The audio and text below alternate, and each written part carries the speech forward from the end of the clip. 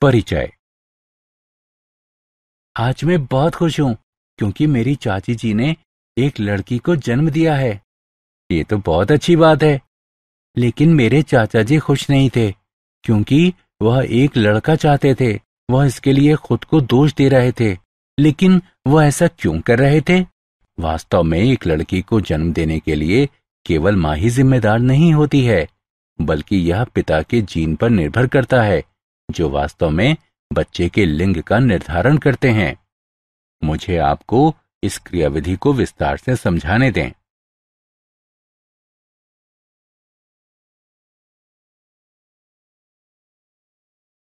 उद्देश्य। इस पाठ के अंत में आप निम्न करने में सक्षम हो जाएँगे। लिंग निर्धारण की क्रियाविधि समझना। उत्परिवर्तन के बारे में समझना।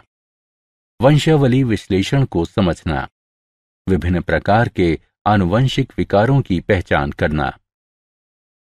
लिंग निर्धारण। गुणसूत्रों को दो प्रकार में वर्गीकृत किया जा सकता है, लिंग गुणसूत्र और अलिंग गुणसूत्र लिंग गुणसूत्र किसी जीव के लिंग का निर्धारण करने में शामिल गुणसूत्र को प्राय एक्स या वाई के रूप में निर्दिष्ट किया जाता है।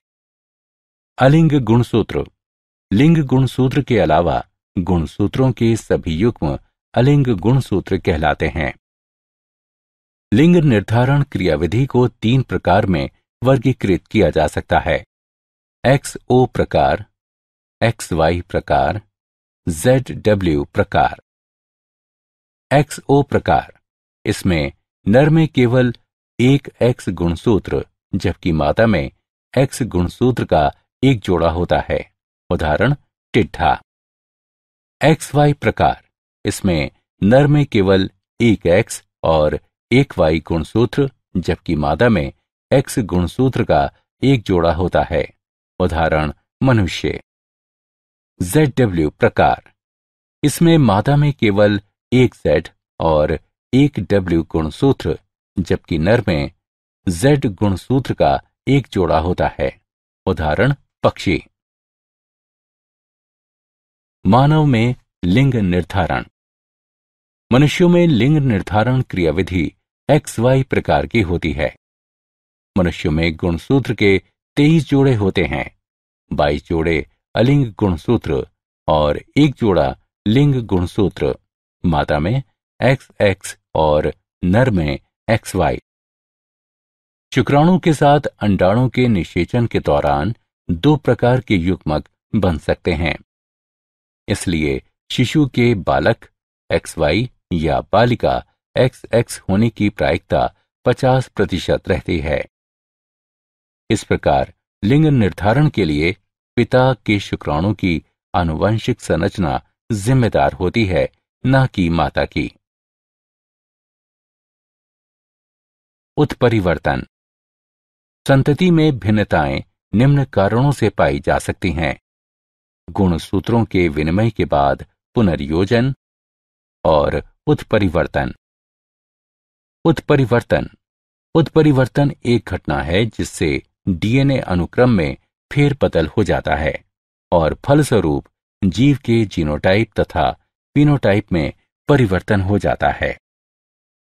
उत्परिवर्तन उत्परिवर्तनजन। कारक जो उत्परिवर्तन में शामिल होते हैं उत्परिवर्तन जन कहलाते हैं। उत्परिवर्तन जन हो सकते हैं। रसायन जैसे कि क्षारीकरण अभिकर्मक, विकिरण जैसे कि पराबैगनी किरणें, आयनकारी विकिरण आदि। विषाणु और भौतिक अभिकर्मक। उत्परिवर्तन के प्रकार। उत्परिवर्तन को निम्न प्रकार में वर्गीकृत किया जा सकता है।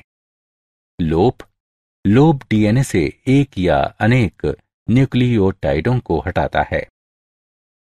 अंतर्वेशन यानी अनुलिपीकरण।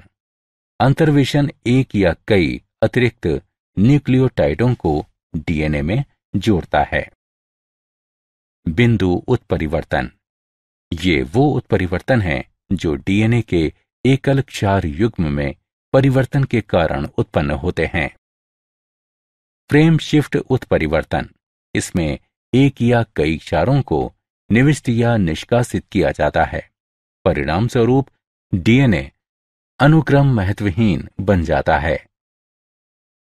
वंशावली विश्लेषण। वंशावली विश्लेषण। परिवार की अनेक पीढ़ियों में विशेषकों का विश्लेषण वंशावली विश्लेषण कहलाता है। वंशावली।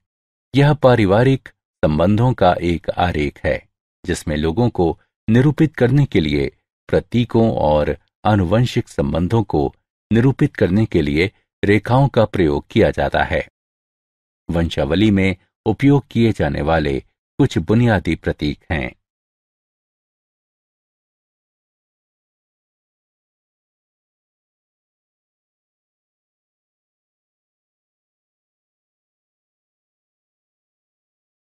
आनुवंशिक विकार। आनुवंशिक विकार एक अवस्था है जो व्यक्ति के डीएनए में विकृति के कारण उत्पन्न होती है।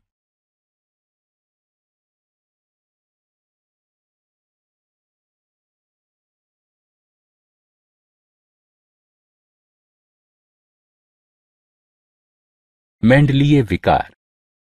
एक आनुवंशिक रोग जो वंशागति के मेंडलीय प्रतिरूप को दर्शाता है और डीएनए की संरचना में एकल उत्परिवर्तन द्वारा होता है। मेंडलीय विकार कहलाता है। ऐसा रोग विशेषक प्रभावी या अप्रभावी हो सकता है।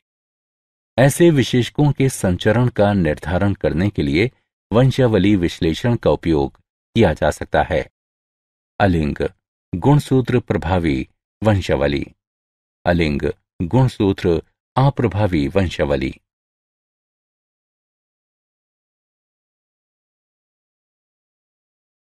मेंडलीय विकार। सबसे सामान्य मेंडलीय विकारों में से कुछ हैं। हीमोफीलिया, सिस्टिक फाइब्रोसिस यानी पुटिए तंतुम्यता, दात्र कोशिका अरक्तता, वर्ण आंधता और पिनाइल कीटोन्यूरिया।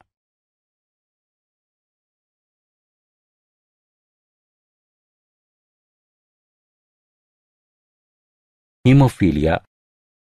यह लिंग सहलग्न अप्रभावी विकार है, जो रुधिर स्कंदन को नियंत्रित करने की शरीर की क्षमता को क्षीण करता है। यह कुछ स्कंदन कारकों की कमी के कारण होता है। इस विशेषक का संचार वाहक मादाओं से अप्रभावित नर संतति में होता है। मादा की हीमोफीलिया से रोगग्रस्त होने की संभावना विरल होती है। क्योंकि ऐसी मादा की माता में कम से कम वाहक और पिता को हीमोफीलिया से ग्रस्त होना आवश्यक होता है, जो अधिक वय तक जीवित नहीं रह पाता। निम्नलिखित चार्ट हीमोफीलिया के संचार को दर्शाता है।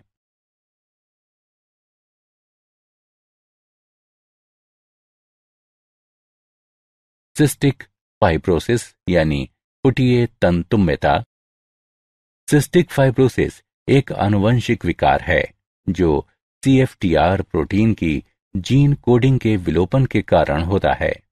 यह गुणसूत्र सात की लंबी भुजा पर स्थित होती है। प्राय तीन न्यूक्लियोटाइड की हानि होती है, जिसके परिणाम स्वरूप सीएफटीआर प्रोटीन के अनुक्रम और रचना में परिवर्तन हो जाता है, जिससे ये अब क्रियात्मक हो जाती है। सीएफटीआर प्रोटीन कोशिका पृष्ठ झिल्ली के पार क्लोराइड आयनों के परिवहन को नियंत्रित करती है। इससे जीव का वैद्युत अपघट्य संतुलन क्षतिग्रस्त हो जाता है और फलस्वरूप बहिस्रावी ग्रंथियों में परिवर्तन हो जाता है। फेफड़े का झिल्ली स्तर असामान्य रूप से गाढ़ा श्लेष्म उत्पन्न करता है, जिसके परिणाम स्वरूप बार बार संक्रमण होता है और सांस लेने में कठिनाई होती है। रोग अग्नाशय की एंजाइमी विफलता को भी बढ़ावा देता है, जिसके कारण भोजन के पाचन और अवशोषण में विकार उत्पन्न हो जाते हैं। इन ग्रंथियों में लंबे समय तक स्राव के धारण के कारण स्रावी अंगों जैसे कि यकृत तथा अग्नाशय में फाइब्रोसिस हो जाती है। स्रावी अपक्रिया के कारण श्वेत ग्रंथि सोडियम क्लोराइड की अधिक सांद्रता वाला पसीना उत्पन्न करती है, जिसे नमकीन श्वेत के रूप में जाना जाता है। दात्र कोशिका अरक्तता, यानी सिकल सेल एनीमिया। यह अलिंग अप्रभावी विशेषक है, जो जनक से संतति में तब पहुँचता है जब दोनों जनक जीन के वाहक होते हैं।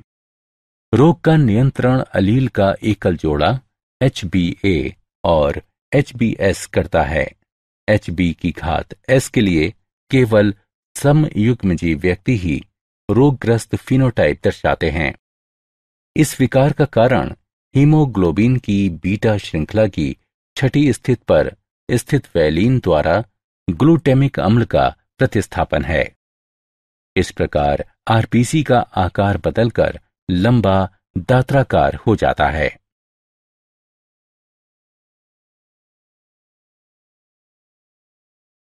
Phenyl ketonuria. फिनाइल कीटोन्यूरिया, ये एक अलिंग गुणसूत्र अप्रभावी विकार है, जो मस्तिष्क में फिनाइल एलेनिनी के संचय के कारण होता है, जिसके परिणाम स्वरूप मानसिक दुर्बलता आ जाती है। क्रोमोसोमीय विकार, ये विकार एक या अधिक गुणसूत्रों की अनुपस्थिति या अधिकता या असामान्य विन्यास के कारण उत्पन्न होते हैं। ऐसे विकार हो सकते हैं। असुगुणिता एनियोप्लोइडी कोशिका विभाजन चक्र के दौरान क्रोमेटिड के विसंयोजन की विफलता के कारण एक क्रोमोसोम की अधिकता या हानि हो जाती है, इसे एनियोप्लोइडी कहते हैं। बहुगुणिता बहुगुणिता एक अवस्था है, जो तब पाई जाती है जब अंत्यावस्था के बाद कोशिका द्रव्य विभाजन नहीं होता है, जिसके परिणाम स्वरूप क्रोमोसोम के पूरे सेट में वृद्धि हो जाती है। ट्राइसोमी। क्रोमोसोम की एक अतिरिक्त प्रति ट्राइसोमी यानी त्रिसूत्रता कहलाती है। मोनोसोमी। जोड़े से एक क्रोमोसोम की अनुपस्थिति मोनोसोमी कहलाती है।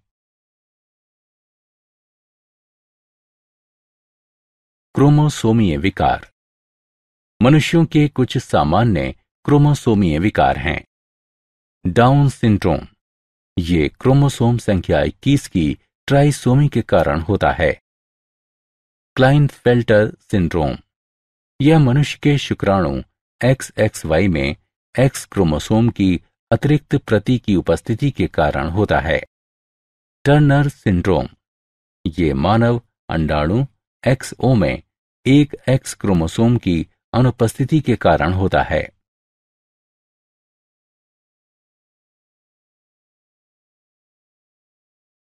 क्या आप जानते हैं? डार्नेज एल्फा एक औषधि है, जो एक अमेरिकी जैव प्रौद्योगिकी फर्म द्वारा तय रूपांतरण से तैयार की गई है। ये सिस्टिक फाइब्रोसिस एक मेंडलीय आनुवंशिक विकार के उपचार में मदद करती है।